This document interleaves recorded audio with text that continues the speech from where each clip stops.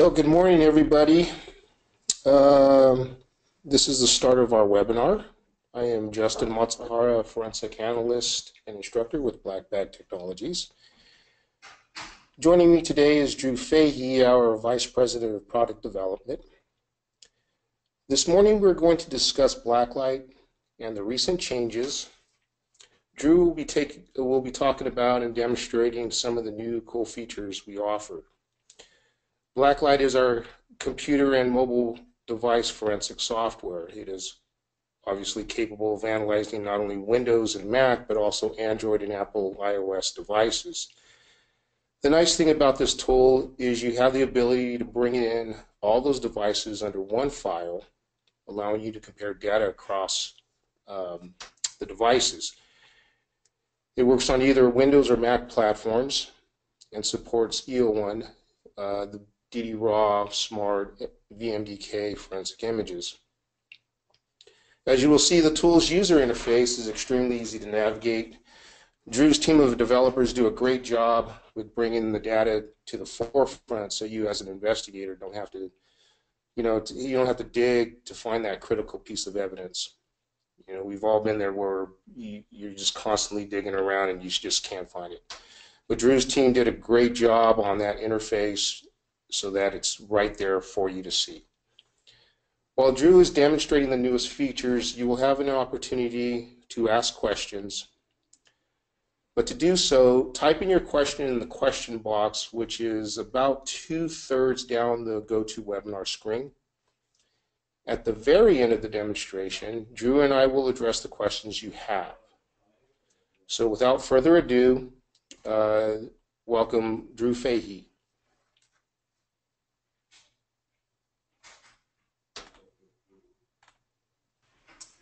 Thanks, Justin. Um, good morning, everybody. Welcome, uh, fellow forensicators. Uh, most of you may may know me. I've been around the uh, the forensics world for some time. I'm very happy to uh, present what we've uh, put together for uh, this year for Blacklight 2016 R2.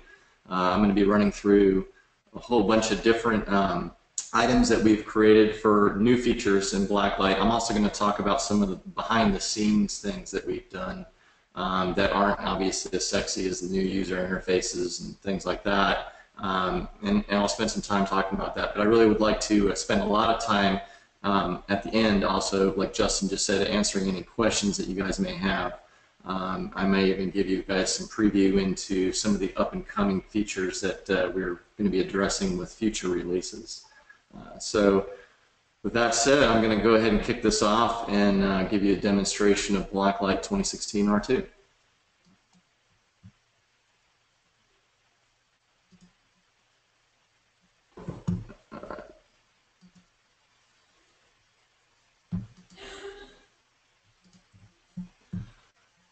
All right, so what you should see here is Blacklight's interface. This look very similar to those who've been running uh, 2016 R1 for some time. Um, and there really has been no difference in this particular uh, UI window. Sorry about that. And what I do want to show though is one of the problems that we've, we've had, and it's completely understandable, is in previous versions of Blacklight, we had the add evidence uh, button within the user interface there as well as the file menu to add evidence. One of the problems with that though that we've noticed was that we had kind of an overabundance of menu options and it was confusing to many users um, and, and, and rightfully so in the sense that if you had, say, an encrypted iOS image that came from a product, say, Cellebrite, or if you had just an iOS backup, or if you had a disk image, um, we throw a lot around the terms like image and whatnot, and that can be very confusing to, to people, especially new forensic people who come in and they've only been doing the job for, for three months or so. So one of the things that we really wanted to do was hopefully try to simplify that interface of bringing in and ingesting um, evidence. So one of the things that we've done is created a whole new um, ingestion interface for that purpose. Now, as before, there's still multiple ways you can bring evidence into Blacklight, regardless if you're running it on Windows or running it on Mac, like I am right now. You can simply drag and drop items into your evidence window. Um, you can click on the Add button. Both of them will bring up the same window. So, for example, if I wanted to bring in um, a, an image, or if I wanted to bring in a raw PST file, uh, which we'll talk about later we talk about email, or if we wanted to bring in memory dump or uh, a single file or a Cellebrite uh, image of, of, an iOS or an Android device, it really doesn't matter. So uh, you could take that image, you just drag and drop it onto the window, and it will open up the new evidence ingestion window. The other way to bring this in is to click on the Add button, and it will do the same thing. Uh, what we'll do is we will remember any of the evidence items that you've already added, uh, and one of the biggest differences we have in this in this user interface here is the fact that um, before on previous versions of Blacklight, it was kind of an all or nothing approach. So you could only add one piece of evidence, choose your options, and then go. And if you wanted to bring in another piece of evidence, you would have to basically go through that whole process all over again. This new ingestion window allows you to bring in multiple pieces of evidence all at the same time, all with different options. So as an example, um, I, I, currently have three different disk drives attached. So this is the, the drive that, I'm, that Blacklight is running on. These are two different attached external devices. I can, I can click on any of these and I can actually bring these in if I wanted to bring in that drive itself. Uh, this is the image that I dragged and dropped onto the blacklight window, and it automatically detected the partitions that make up that particular image. And you can see there, there are two automatically selected partitions. Uh, these are the partitions that we recognize and say there's going to be potentially more data on there, so they're automatically checked. Um, and then over on the right are the ingestion options. Now you can globally set those so if I have my, my CFREDS, which just happens to be a, a, a typical forensic test image suite, um, I uploaded that into, into our evidence window here, and I can choose as, at a global level the options that I want. So by default, our triage option is set, which basically means it's going to do the file signature analysis as well as calculate MD5 hashes, as you can see when I open up the window and it will calculate that based on everything that's checked. Well, if I wanted to change those options for the individual partitions, I could do that. So for example, if I wanted to set uh, NTFS here and I wanted to add SHA-1 hashes, I could do that. Um, if I actually wanted to do picture analysis on this particular image, but not this one, I could do that as well. If I chose not to even bring in this partition for whatever reason, I, I could do that. Um, so you, you, and it will remember all of the states. So if I also wanted to bring in another piece of evidence, so let's say, for example, I want to bring in this raw file. This happens to be PST emails. I can drop that in, and now I can do again my own ingestion options just on that one single file. So one of the other differences that you'll notice very uh, quickly for those of you who have been using Blacklight for a while is before, if we wanted to bring in a single file, we forced you to put that file into a folder and then to bring the folder in. Um, we've made a change within the framework that now allows you, you can bring in a single file uh, and it will be treated just like a file. You no longer have to put it into a, its own folder. Um, so I'll just let this run. Um, as you can see, I'm bringing in a PST file. I actually want to do uh, some advanced options on there. I actually want to parse it as email. Uh, email is uh, one of our, it's a non-default option, and that's because a lot of people um, don't necessarily want email for particular investigations. Um, so it's just it's an option that you'd have to choose under the advanced system files so you can actually see that mail parsing is, is one of those options. Uh, so for that particular one, I, I do want to choose email so it will actually parse the email and, and provide it within the user interface when we're ready to actually look at that. Uh, one of the other options you notice under the advanced option window uh, when I open it is calculating entropy. That's something new. Um, a lot of our investigators that are looking obviously for encrypted files want to basically you know have a quick glance at that they can they can choose the entropy option and it will calculate that on every file that's not zero bytes uh, in size. Uh, and all the other options that you notice there, um, most of those have not changed. Uh, we have kind of refactored them and improved upon them, uh, specifically with the file carving. We're, we're consistently and, and constantly uh, improving our file carving options uh, for, for files. Um, hashes hasn't changed as well as a picture of video analysis. So you can choose the options that you want. Um, again, we still have the templates that we've had in the past, uh, and so you can actually see each one is, is slightly different. And so we'll just go ahead and I'll, I'll just start that, and it will bring them in. And so as you can see as before, we have our evidence status window that tells us what's going on, which, which particular um, item it's currently working on with parsing and whatnot. You can see that here. Um, so that's really the new ingestion window. Now, and, and, again, as a recap, the biggest thing that we have with that is behind the scenes, it will it should automatically detect um, items. So, for example, if you do bring in an encrypted iOS image, it will identify, hey, this isn't this is an encrypted iOS image, um, and as such, you'll see a lock icon. For example, what I did with with this Josh Bennett phone. Uh, and I can actually show you an example of that when I go to uh, when I go to the racer partition and I go to the actual uh, intelligence view and, and I want to see all of the say the device backups. So these these happen to be all of the, the backups that are within this image file, and I can import any one of these that that I want to. Uh, so for example, with this iPhone 5, uh, this is the one that I brought in. Uh, this one was encrypted.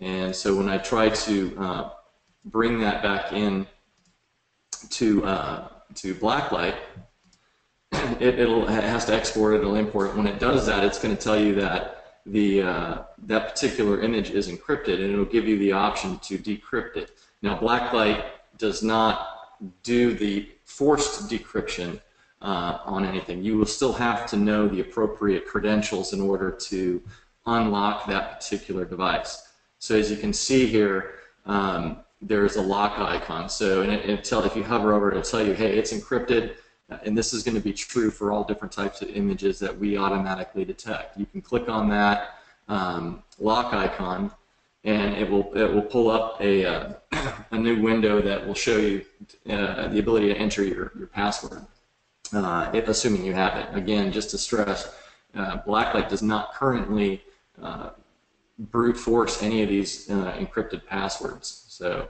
uh, you, you, will have to know it in order to ingest it, to, excuse me, to ingest it. And that's and so one of the things about these the new ingestion window is the fact that it kind of has some smarts behind it. Uh, hopefully we're not we're not too smart and make it more difficult, but it uh, it will automatically do that stuff behind, for you, so you don't have to go in there and choose the appropriate uh, type anymore. It should do that for you. Um, so that's that's kind of really the new ingestion window. And again, as a recap, each partition can, can have its own processing options. There's a lot of uh, advanced options that you can choose for each one. Uh, I will I will stress that you know we've tested this against some large partitions, especially uh, um, not partitions, large images, especially images like Windows images that have you know multiple uh, volume shadow copies.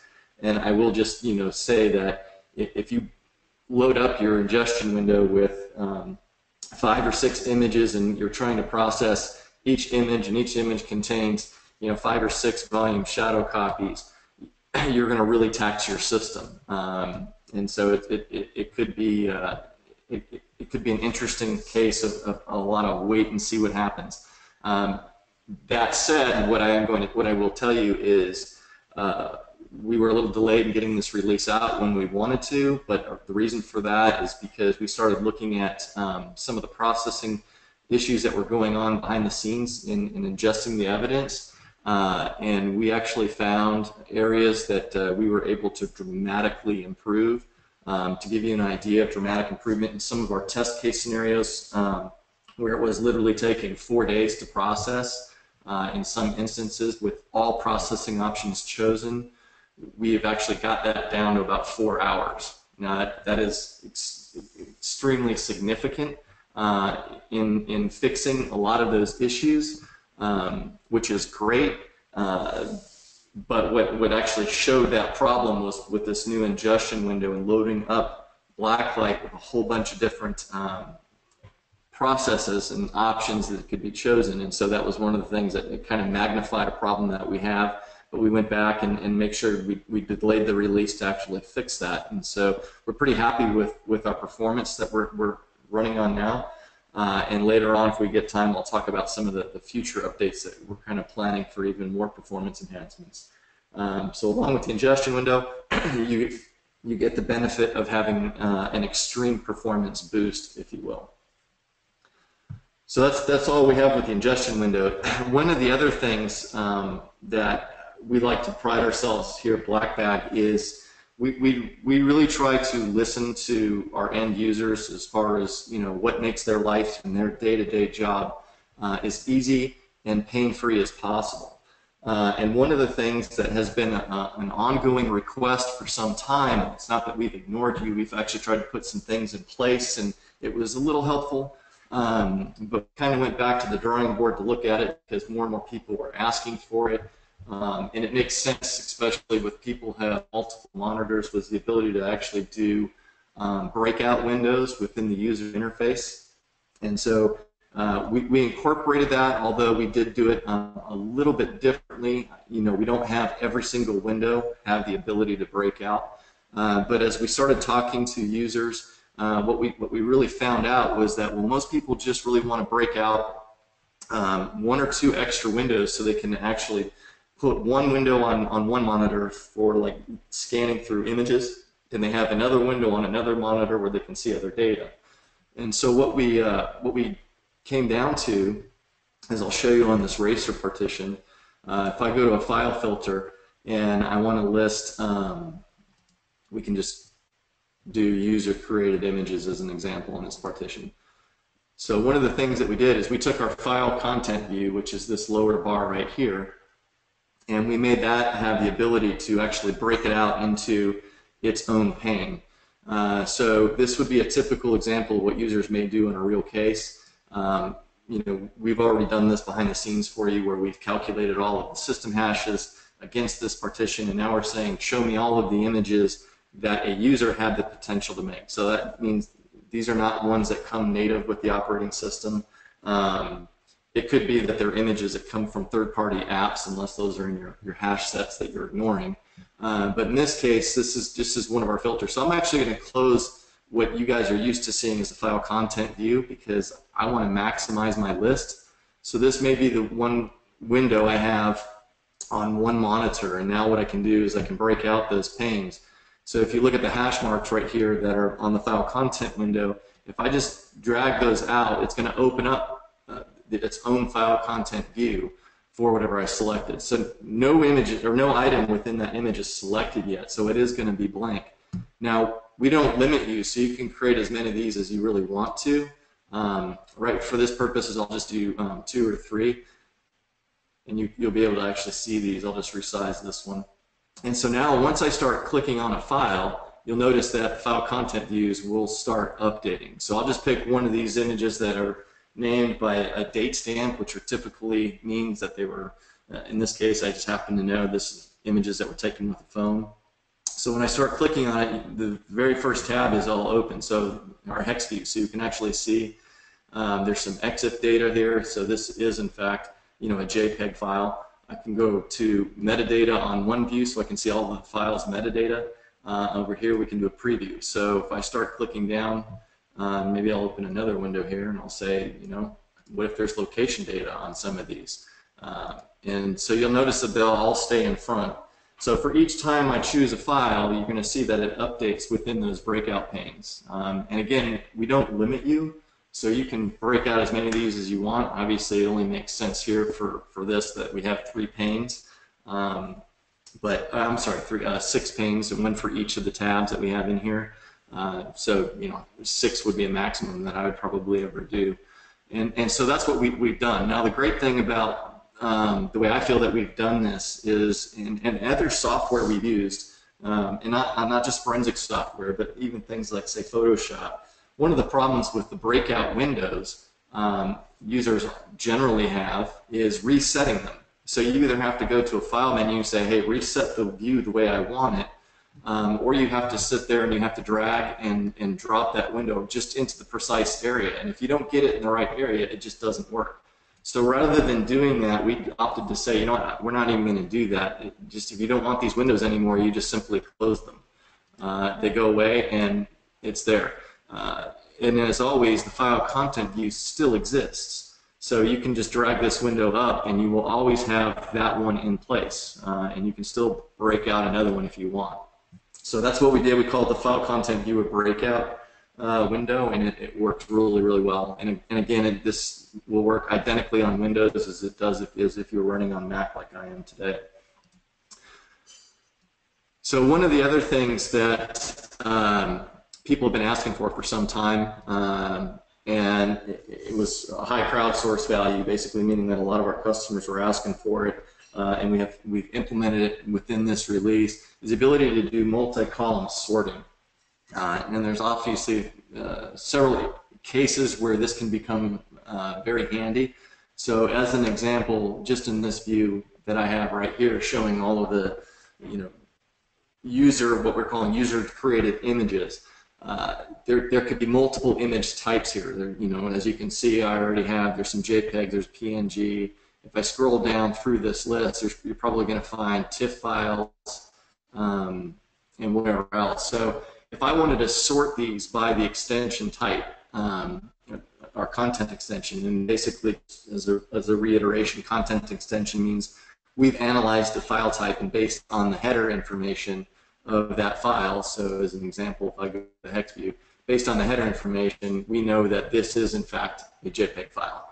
So if I were to take um, this particular list and do just click on the column header where it filters and I'm sorting uh, in an, ascending order all of my content extensions. So you can see I have BMPs here, GIFs, JPEGs are going to be below that, um, PNGs and so forth.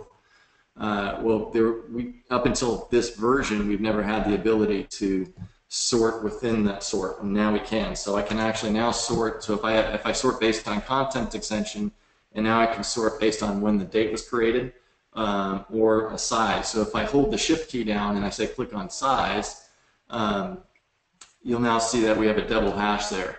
And so now you can see right away, if I just resort this one, um, based on the BMPs, I can now have it within the largest verse, you know, in a, in a descending order, and I can do that. And you can do that within any of the views uh, within Blacklight. So uh, I know that was, you know, something that's been asked for for some time. We're very happy to finally bring that to you.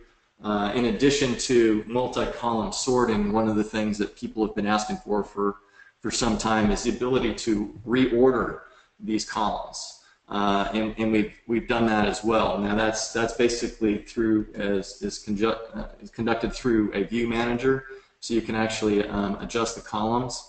And when you adjust the columns, you'll get a, a window here and you simply just drag and drop what you want. So if you want the MD5 next to the name, um, so you can actually see the name and then the MD5 path if you want, you apply the changes, uh, and the columns will now actually shift for you.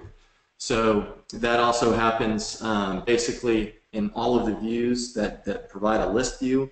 So those are the two big things that we're pretty happy with um, with 2016 R2 to, to, to, provide to you, things that have been you guys have been asking for for some time. And uh, and on the surface, it seems like it should be easy. Um, unfortunately, sometimes it, it, it's not quite that easy. Like, uh, for example, it would be real nice to be able to drag and drop these. That's something that we're still looking into to see what we can do to, to provide that. But uh, this is definitely a, uh, a great way to do it, and, and, it will remember it. So once you close your case and reopen it, uh, it, it, will remember that, hey, I wanted MD5 next to my name, and, and it will stay that way for all your cases. So that's the multi-column sorting and then the multi-column shifting.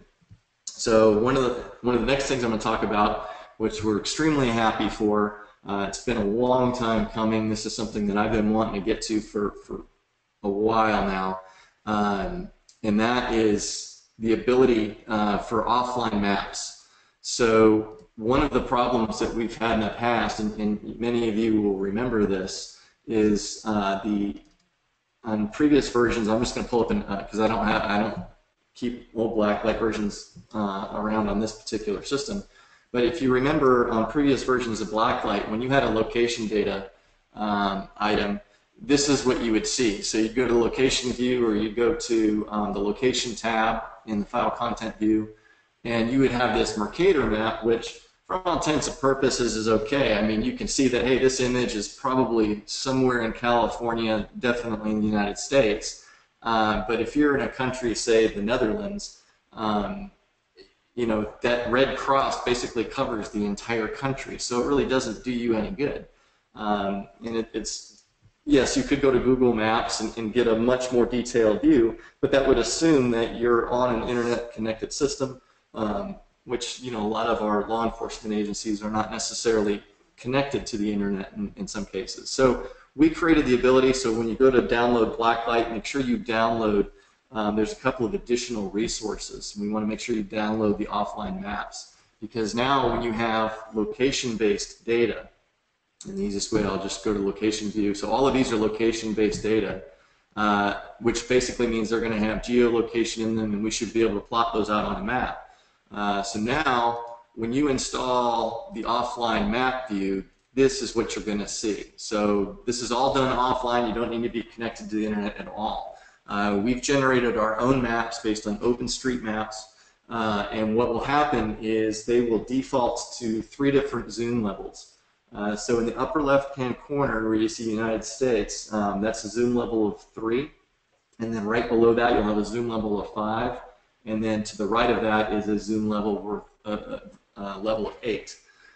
Uh, so what this means is, regardless of wherever you're at in the world, um, you will have those three different zoom levels. So here's Europe. You can actually get an idea. So this is going to give you a much better indication of where a person was at. Um, we do have the ability, if you want actually a higher zoom level, you can even do that and add that to Blacklight. Uh, by default, when you install the offline maps, we, we install zoom levels 0 through 8 using OpenStreetMaps. Um, by all means, if you want to generate your own zoom levels, um, you know, up to 14 or 15, if you wanted to go that high, you could definitively do that. Add those um, tiles to Blacklight, um, and basically you'll be able to proceed. So just kind of give you an example, I'm going to take this uh, image file that uh, I, I just got this morning uh, just a JPEG some you know someone at the office took. I'm going to add it in. Uh, I'm going to go ahead. I don't even need to. I, I, can process the pictures. It's one file. It's going to be real quick. Uh, I just click on start and give you an idea of, of what I mean. I've actually incorporated um, some higher level zoom levels for our areas that you know obviously BlackBag's headquartered in San Jose. This image was taken in San Jose. So when I go there uh, and, I, and I look, you can actually see the much higher level zoom level that we have. Um, so now I can definitively say not only that he's in San Jose, but what street they're at. And this happens to be, you know, where, where BlackBag headquarters is. So um, gives you gives you a pretty good indication of what you can do. And all of this again is done offline, so you do not need to have an internet connection in order to see these. Um, in addition, if I tag this file uh, and I want to incorporate it in my report, this is the image that you will see in your report. Um, one of the reasons uh, this particular iteration did not have zoom level features, meaning allowing you to zoom in and out, was because that makes it very difficult when we're trying to say, hey, we want to put it in a report and, and ask you the zoom levels. I will I will preface that by saying that that is something that we're we are going to be working on. It's on a long-term roadmap to actually give you even more features and ability uh, with mapping and zoom levels and how that all goes into the report. So be patient with us. That, that stuff is definitely coming, but we think that this is a uh, this is definitely a, win-win feature for everyone because you'll be able to see pretty much where where people are at when they're taking pictures with location data. Okay, so one of the uh, other things that we did is we spent a, a lot of time um, working on email in this particular release. Uh, initially it wasn't our intention, but we got a lot of feedback Excuse me, um, that email is still of, of importance uh, to a lot of the, the uh, forensics investigators. Um, so we wanted to kind of go back, take a look at what we were offering, and we revamped um, a lot of the, uh, the email views that we had. So The first thing is we changed the view. So if I just go to Register's view and I go to Communication, and I move the window again, um, sorry about that. And if I go to Communication and choose Email, you'll notice that our email view um, has been changed around kind of significantly and cleaned up. Um, so I can actually see in this case, this is all of Josh's email. Uh, I can see his different e email inboxes that he had. So if I happen to go to an inbox, here's all the email that you'll you'll notice. Um, so this is very similar to was the way it was before. I'm just going to sort um, on the uh, the attachment counts here, uh, so you actually see the attachments. So one of the things that uh, we've done a little bit differently now is you'll see that these these tabs here. Um, actually, I think it's this one. So the reason why those emails weren't, weren't displaying is those were actually um, uh, encoded emails, and we aren't decoding that particular one. But if you go through the emails, you'll see in the email tab, we try to give it to you in a view that the user would have seen. Um, so most of the emails will render this way. This is basically kind of what we call the user view, if you will. Uh, so the very basic header information and how the uh, and then what the email looks like. If you go to the properties, you'll get pretty much all of the header information that uh, we can display to you for that email. Um, obviously, there is the raw source. And then on the attachments, you'll see a list of the attachments. If you click on that and then go to the preview, you can actually see now in line what the attachment was. Uh, so that's, you know, big departure from the way it was before. You actually had to export that attachment, uh, bring it back into Blacklight and see what it, what it was, uh, if you could even view it. So you can, again, tagging will work the same way. If you tag the whole email and it has attachments, you'll get the option. Uh, so for example, if I want to say tag this email as a new tag, uh, I'm going to get the options for the attachment. Uh, I click in here and everything that I've checked will actually be in, in the actual tag. So um, you know, whatever you, whatever you have will be in that tag and will then obviously go into your report. Uh, so the other thing though is in addition to changing the, the UI and, and, and making it a little bit and easier to navigate for email, we uh, spent quite a bit of time in actually being able to do Outlook-based uh, email parsing. So that is inclusive of the, the, PST format as well as the OST format for Microsoft Outlook, uh, and that's Outlook for both Mac and Windows. Um, there's, there's differences between the two, unfortunately, um, but that said, we will parse both. Uh, currently in 2016 R2, I will, I will just iterate that there's a caveat to that in that we will parse basically all the versions of Outlook that uh, we know of for Windows.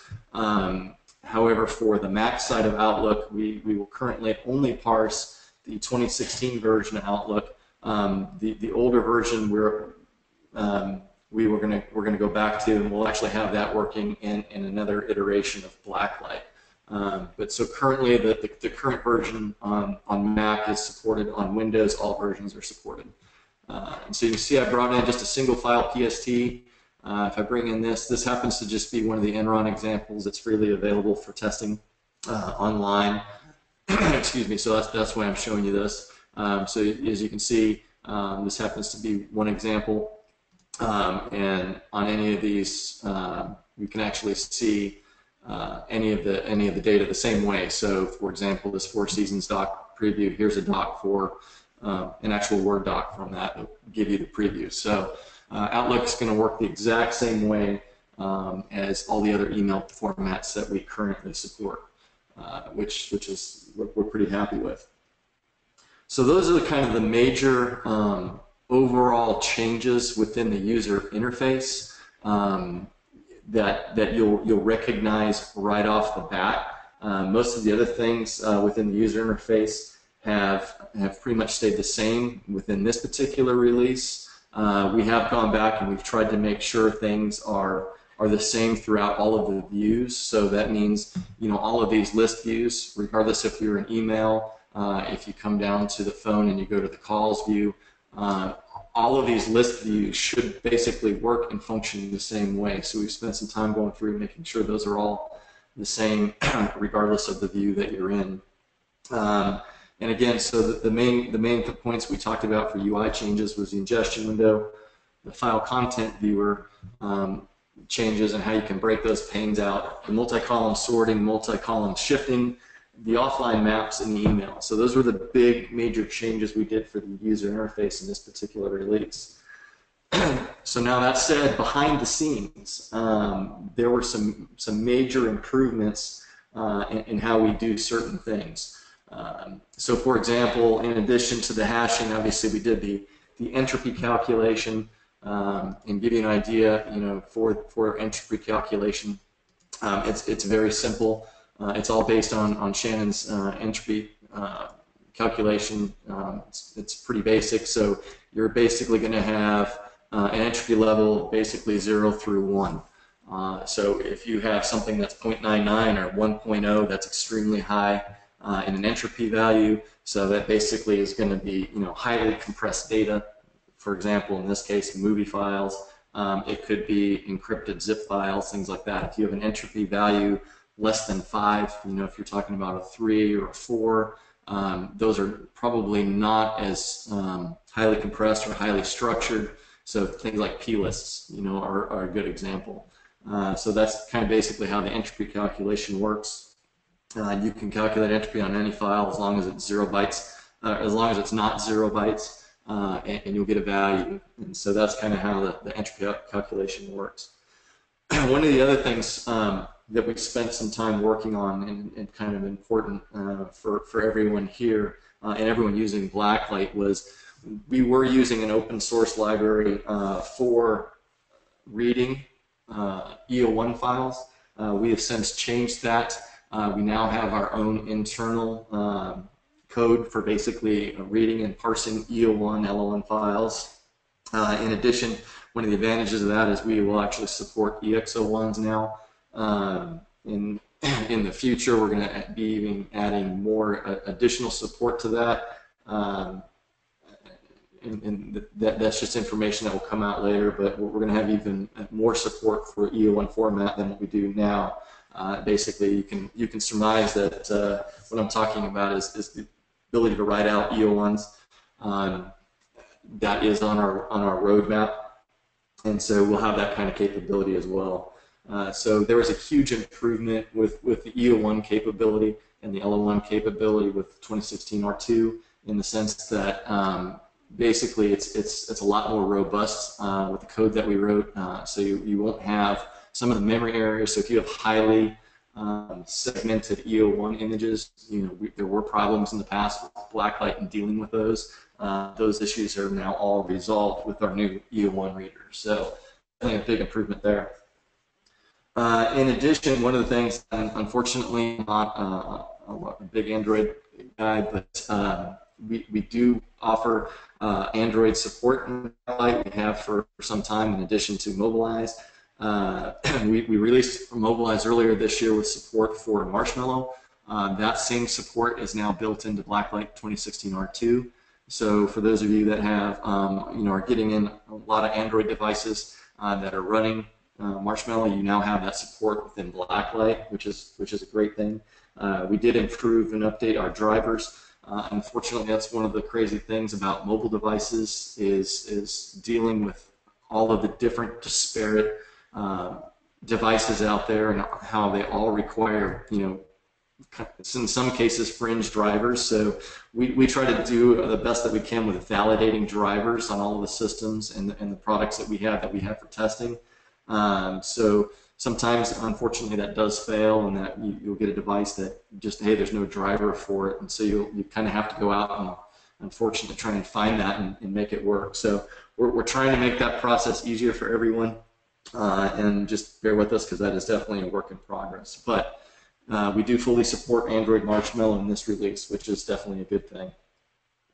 Um, and then, as I said before, uh, we had kind of a massive improvement in our Windows parsing um, time. So for those of you that have been running Blacklight on Windows um, and we're comparing it against running Blacklight on Mac, you will have noticed um, that there were there were very kind of big disparities between the two, and that we you know we were spending a lot of time um, working on Mac and, and, making Mac the most efficient, and Windows was kind of a uh, I, you, you all felt it was probably kind of a well, it, it's kind of the redheaded stepchild, and and, and we, we feel that pain. Uh, we felt your and heard your calls about that, so.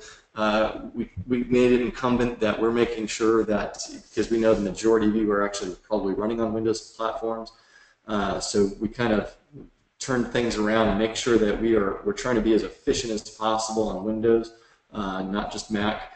And so we spent a lot of time um, analyzing uh, the data calls we have on our back end, uh, the processing options that were happening, what was causing bottlenecks, where that data slowdown was uh, and have made tremendous improvements in that backend. So for those of you running on Windows, you'll be very happy to see that with 2016 R2, you should notice some very, very significant performance improvements. Um, and so we're, we're real happy about that. We would love to hear from you uh, one way or the other on that. Um, you know, because obviously it's it, it's good to know uh, that what we're seeing in, in our own internal testing is the same thing that you guys are seeing. So uh, please try it out and get back to us and let us know if, if you're seeing the same significant improvements that we are, because we're, we're really happy with it.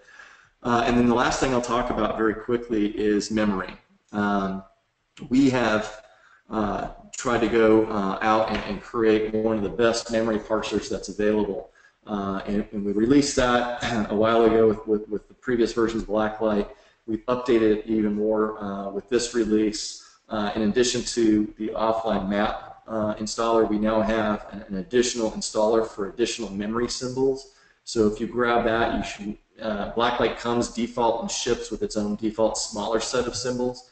But if you grab the, the additional symbols pack um, when you're analyzing Windows memory, uh, you shouldn't have any of the issues that, that had people had experienced in the past.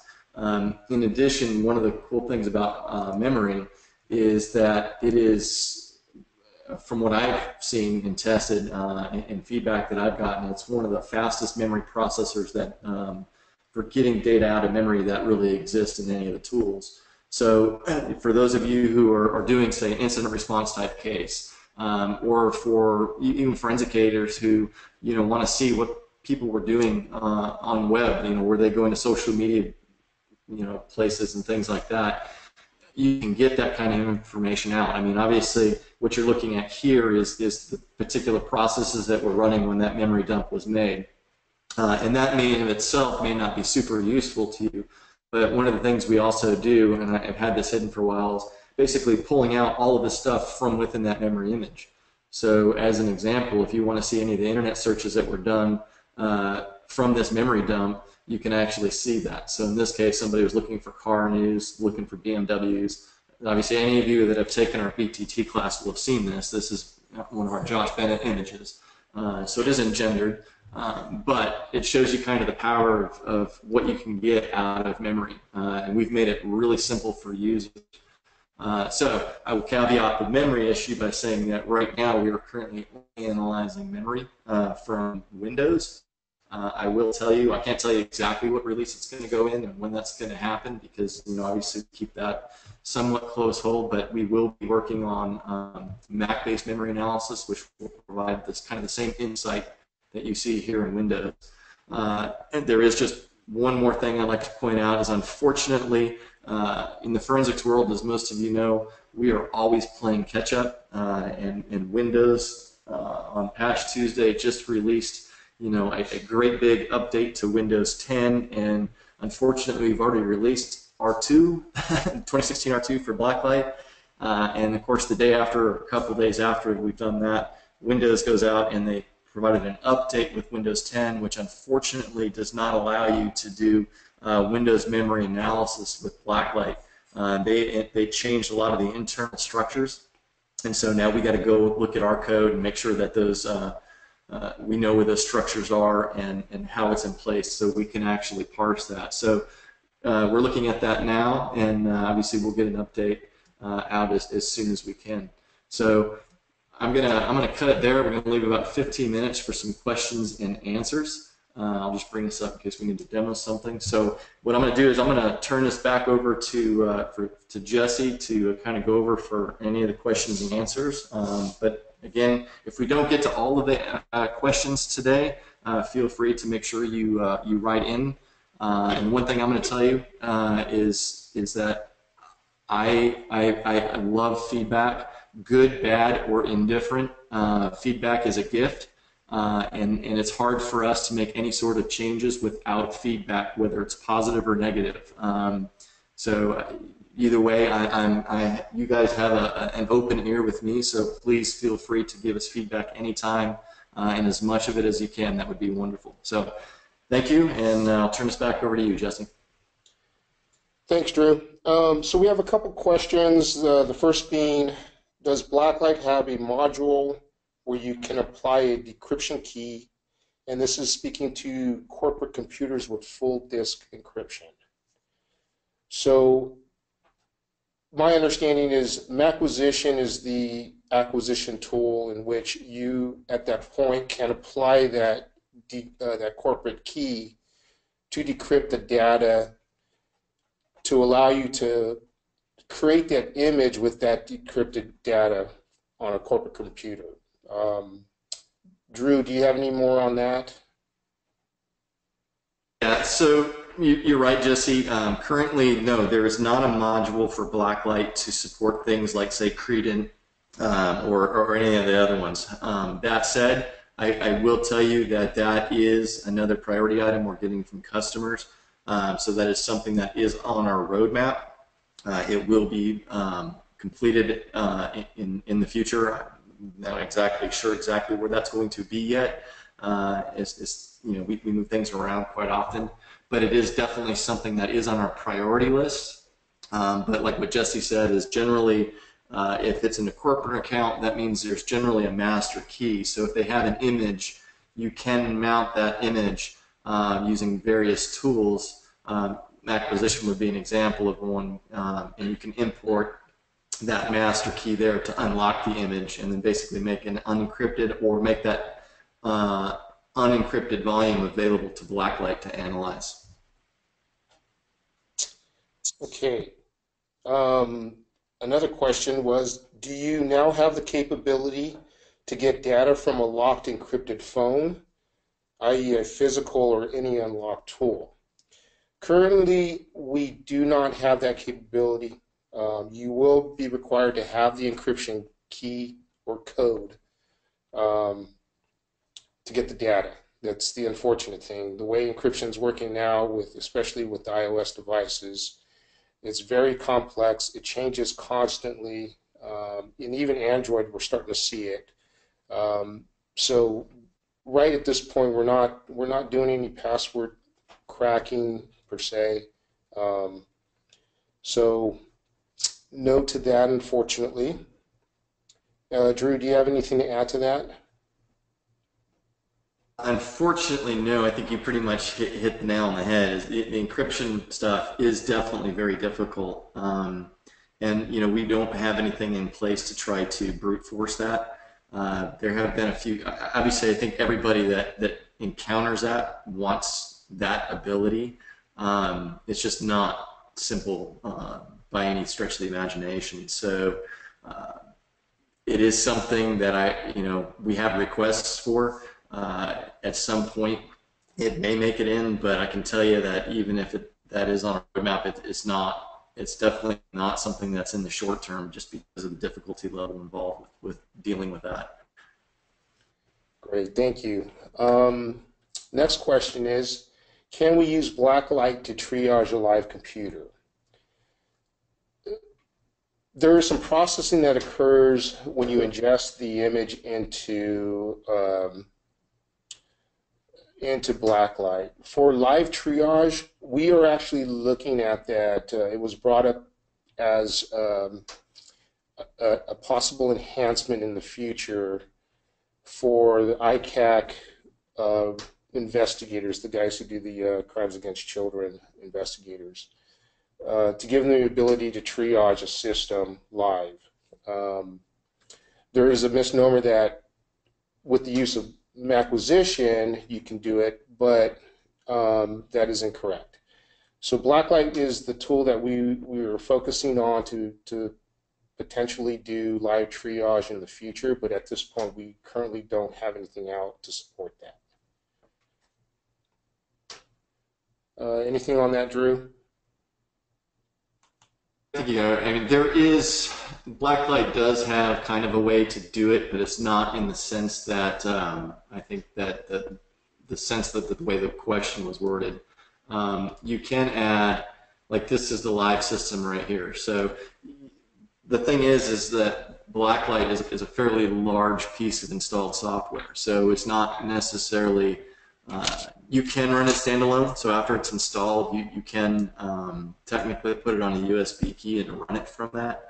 Um, there are certain things that we would need to change in the framework that would better support that. Um, so you, in, in, this case, I can basically um, Blacklight's running. It's running on this Macintosh HD, so I can ingest this live uh, volume if I wanted to, um, but that's not necessarily what I think the, the point of the question was. And Jesse, you, you were exactly right, is that this is something um, that we have been actively pursuing uh, as far as being able to uh, triage any system uh, live and or dead um, within Blacklight so that way you can see the file system um, being presented without having to have make a full disk image. Uh, so that is definitely um, a very high priority that uh, that we're looking at. Great, thank you. uh, we have a question regarding how to add higher zoom levels for the maps. Uh, Drew, can you kind of walk them through that if we got the time to do so? It's there's several ways you can do it. Um, I can't give away uh, our, our secrets to the kingdom of how we do it, but I will tell you that uh, it, is not super difficult. So uh, if you go to um, OpenStreetMaps, you can you can basically generate your own uh, zoom level for whatever map area that you want. If you want to do the entire world, uh, you could do that. Um, for example, we have one that we, we don't currently ship with. Uh, we might in the future. Um, we have Zoom level 9, which gives you you know higher, a little bit higher than Zoom level 8. Uh, but if you uh, if you want to go to OpenStreetMaps and or you can even install your own uh, map server, in which case then you can make your own maps and do your own parsing without having to have uh, kind of a wait period. Uh, but if you go to OpenStreetMaps, there's there's all the documentation on there on how to actually generate your own. And when you generate your own, what's going to happen is you're going to get um, PNG tiles. So it's just individual uh, tiles. And so when you install our um, our offline map pack, it's going to create this folder structure under BlackBag Tech OpenStreetMaps, uh, and then there'll be a tiles folder.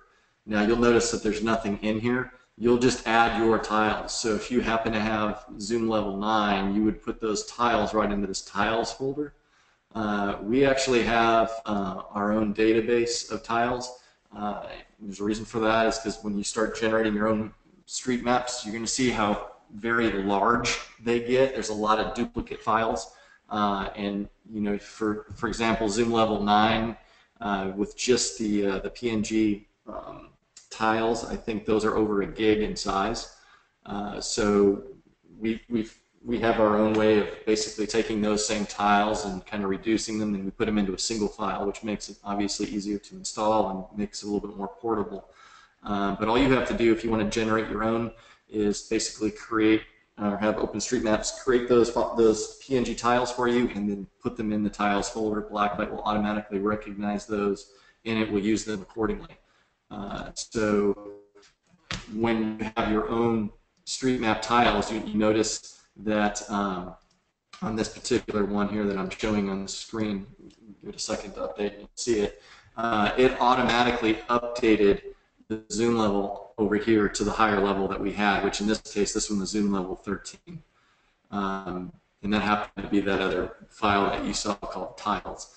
Um, so if you do download your own, Blacklight will automatically use the highest resolution tile, the highest zoom level tile for this um, big right hand side on, on your location view. Great. Thank you so much. Um, we have a question about uh, does Blacklight support the EX01 format?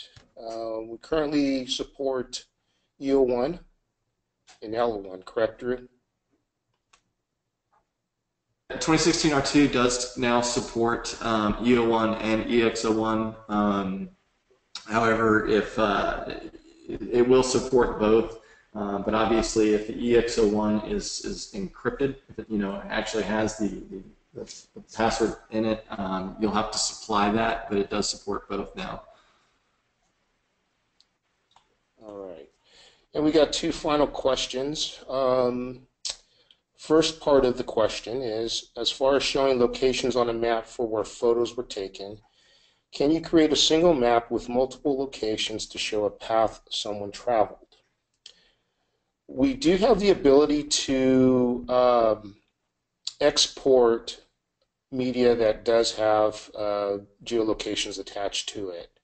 And what we have taught in the past, and unfortunately with forensic machines that are typically air gapped where there's no connectivity to the internet, um, this it wouldn't work all that great, but you have the ability to take the file itself that you export um, and bring it into a, a machine that has, let's say, Google Earth on it.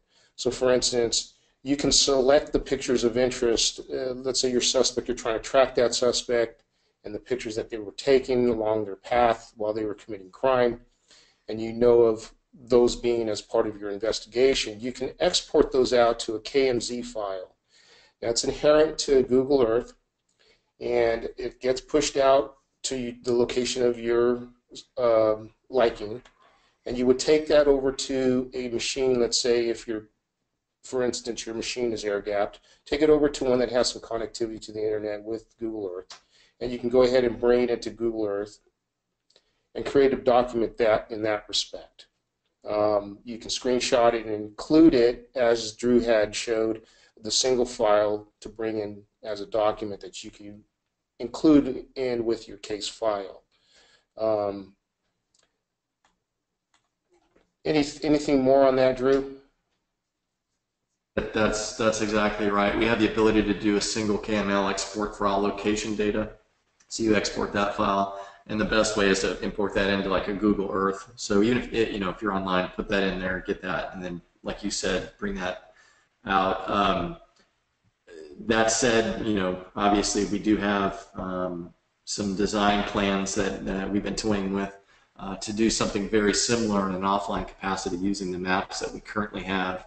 Um, obviously, to do that, we you know we'd have to there's a lot of uh, behind the scenes that we'd have to do is you know figuring out you know are we just showing say as an example the United States and the pinpoints on there or is it the entire world? Um, because if if you look at the screen for example and there's one point right there uh, in, in California in the United States so if we use that zoom level and pinpointed you know say 100 pictures uh, you, very quickly see on that particular zoom level it wouldn't be as effective because uh, you can't zoom in. So we have to be able to account for that type of activity on an offline status. So that's something that we would definitely like to get to. Just can't promise you when that's going to happen. Great, thank you. Um, next question is, will Blacklight also work with a new APFS file system? And I will defer that to you, Drew. um, but uh, and probably that I'm, assuming it's probably going to be the last question, but there are some major plans in place. Um, Blacklight is going to be um, in, in the very near future going is undergoing some very major changes that will incorporate a lot of new file systems. Um, so I'll just leave it at that. But currently, 2016 R2 does not currently um, support that. Okay, great. And uh, the final question, I guess, would be how to parse a Cellebrite dump in Blacklight. Um, with my own dealings, uh, trying to bring in Cellebrite, there are a couple things that we have to consider is how it was dumped. Now, I, I tried using it with the UFED Touch uh, dumps, and it's unsupported based upon the types of files that are being exported out. Um, we do support physical analyzer um, dumps, and if I'm not mistaken, we have that documented within um, our manual. Is that correct, Drew? all of the Cellebrite whether you're using physical analyzer and if you're um, using, you know, type one versus type two, you know, they keep changing the way that they do and stuff, but all of that is documented in the user guide. Okay. All right. If we don't have any further questions, um, we're going to let me see if I can do this without screwing things up here.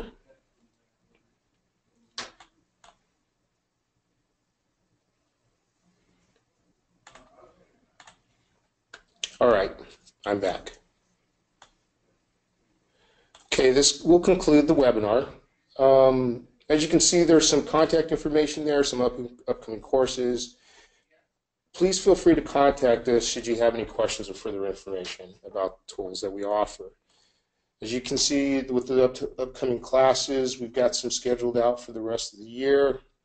Um, the Blacklight Tools training classes, they're two-day training classes on, on, on Blacklight. Currently, we keep they're free, and attendees have the opportunity to take the Certified Blacklight Examiner test at the very end of the two days. The two courses, the Essentials Forensic Techniques 1 and 2, are week-long, in-depth um, classes dealing with Mac forensics using Blacklight. There is a cost involved, uh, which is cited on our website, so check our website for further on that. Um, completion of both will give you the ability, or at least prepare you to, to take the Macintosh and iOS Certified Forensic Examiner certification test. Um, you know, we encourage you guys to, to, to look at those classes and attend them if they're available in your area. If not, we, we try to keep as many local as possible, but if obviously travel is an issue and you can fill seats, we can always look at arranging some for you to host the, the training itself. Um, we also offer free trial licenses. They range anywhere from 15 to 30 days.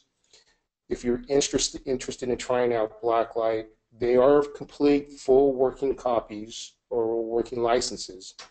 Um, so if you happen to get one, we encourage you, all of you to provide us some feedback on your experience with Blacklight, okay? Uh, our mission is to continually develop the, the, the most powerful forensic tool on the market so you can easily reveal the truth. So thank you all for attending, and to all of our brothers and sisters in law enforcement, please be safe out there. Thank you.